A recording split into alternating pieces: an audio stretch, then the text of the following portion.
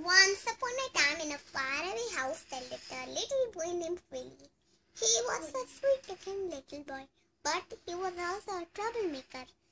Then one day, Willie was playing in the mud. Suddenly, his all the pajam- pajamas went dirty.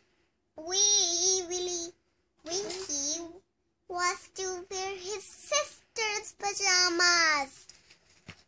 Then Wiggly Winkie said to his mom, Mom, why do I have to wear uh, Wendy's pajamas? Then one day Willie's mom said, Don't worry, Willie, it's night time.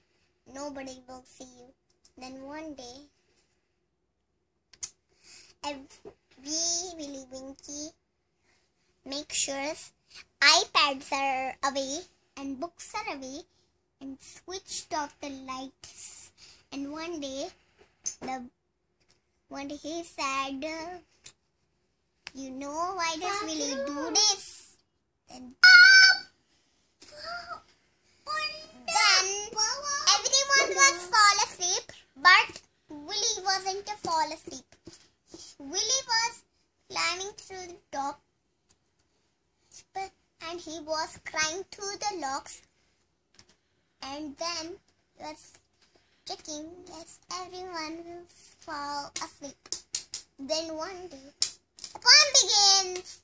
Willie Winkie runs to the town, upstairs and downstairs in his nightgown, knocking at the windows, Wendy. crying at the locks, all their children in their beds.